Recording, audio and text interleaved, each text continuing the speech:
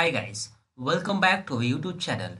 So in this tutorial, we would learn how to apply a 3D line chart in Microsoft Excel. To do this guys, just select the data and then click on insert. After clicking here in this charts group, you have different types of line charts. Here you have 3D line charts. Just click on that and then you'll have on the screen. From here you can adjust size or you can select and drag to move it.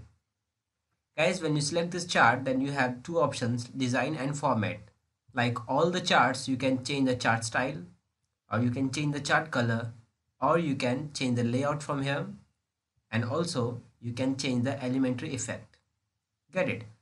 Now from here, the format, everything related to this charts like the charts text or the font, you can edit it. You can change the shape effect. You can fill its background or you can add any border or you can add any effect guys. And when you double click on this chart then a window from right of your screen will pop out where you can change the things in deeply. And here is the 3d line chart. So that's all for today guys. Thank you.